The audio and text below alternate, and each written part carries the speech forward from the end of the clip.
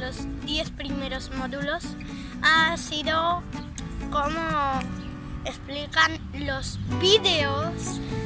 Me ha gustado también el robot y Dani que explicaba programar y también se veía haciendo videojuegos, poder hacer los retos y poder coger llaves para llenar mi llavero y poder estar en Genkakusha.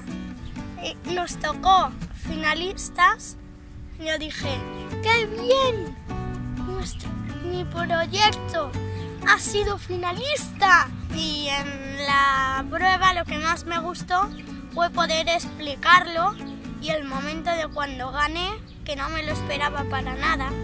Yo ya estaba solo preparado para perder. Y lo que saqué de allí es que todo es posible y que para conseguirlo hay que esforzarse. Muchas gracias por todo lo que me habéis enseñado y por todos los módulos, por el reto final y por ponerme ganador y finalista.